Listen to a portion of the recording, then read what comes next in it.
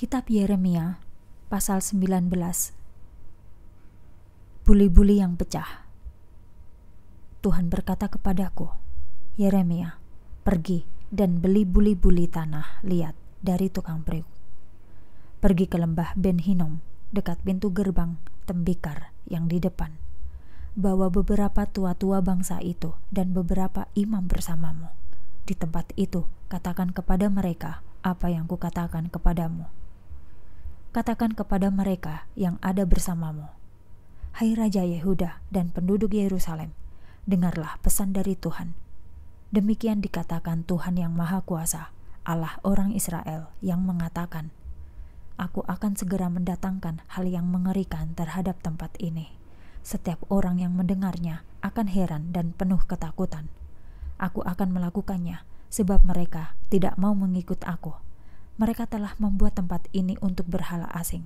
Orang Yehuda membakar persembahan di tempat ini untuk berhala asing. Mereka tidak menyembahnya dahulu. Nenek moyang mereka tidak menyembahnya. Berhala itu adalah berhala baru dari negeri asing. Raja-raja Yehuda menumpahkan darah anak-anak yang tidak berdosa di tempat itu. Raja-raja Yehuda telah membangun tempat-tempat tinggi untuk dewa Baal mereka memakai tempat-tempat itu membakar anak-anaknya sebagai kurban bakaran pada dewa Baal. Aku tidak mengatakan kepada mereka untuk melakukannya. Aku tidak meminta kepada kamu untuk mengorbankan anak-anakmu sebagai persembahan. Bahkan tidak pernah terlintas hal seperti itu dalam pikiranku. Sekarang orang menyebut tempat itu Tofet dan lembah Ben Hinnom. Aku mengingatkan kamu. Demikian pesan Tuhan harinya akan datang, orang akan menyebut tempat itu lembah pembantaian. Di tempat itu, aku membatalkan rencana-rencana Yehuda dan Yerusalem. Musuh akan mengusir mereka, dan aku membiarkan orang Yehuda terbunuh dengan pedang di tempat itu. Dan aku membuat mayat mereka menjadi makanan bagi burung-burung dan binatang buas. Aku membinasakan kota itu seluruhnya, orang akan bersiul dan geleng kepala bila mereka melintasi Yerusalem. Mereka akan terkejut bila mereka melihat kota itu binasa. Musuh akan membawa tentaranya mengepung kota itu.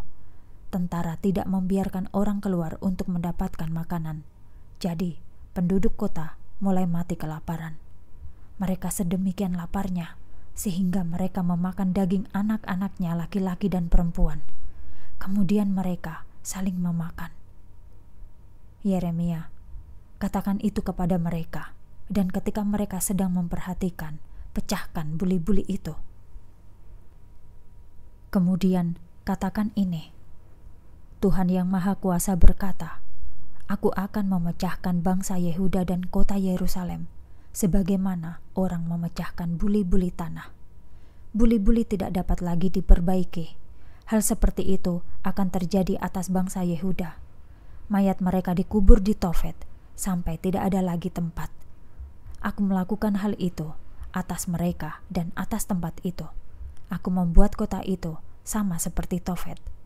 Demikianlah firman Tuhan. Rumah-rumah di Yerusalem menjadi cemar seperti tempat itu, Tofet.